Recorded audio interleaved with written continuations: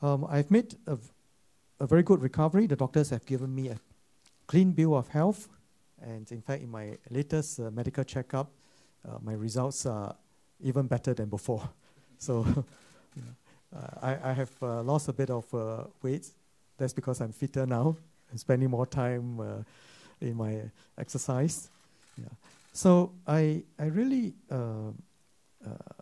I would not have taken up this appointment if I do not have the confidence that my health allows me to do it.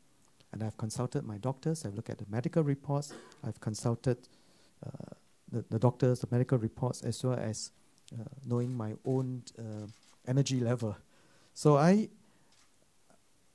I took this up after thinking about it very, very uh, seriously, and in particular, making sure that my health allows me to do that. Now, this episode, this life and death episode for me, I think strengthens my commitment to uh, serve Singaporeans.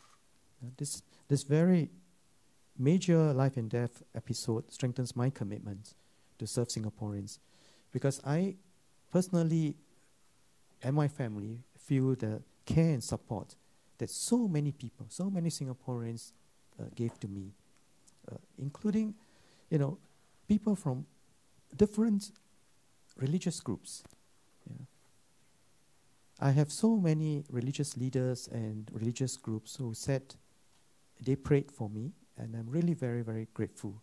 And I feel that I I should do my very best to serve Singaporeans to make sure that what we have achieved in Singapore can continue, and in fact, we build on that.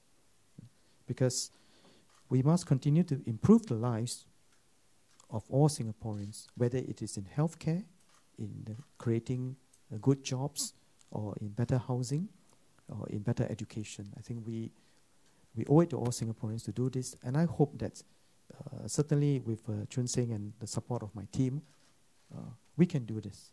And uh, I hope that many more people would join us in this uh, journey.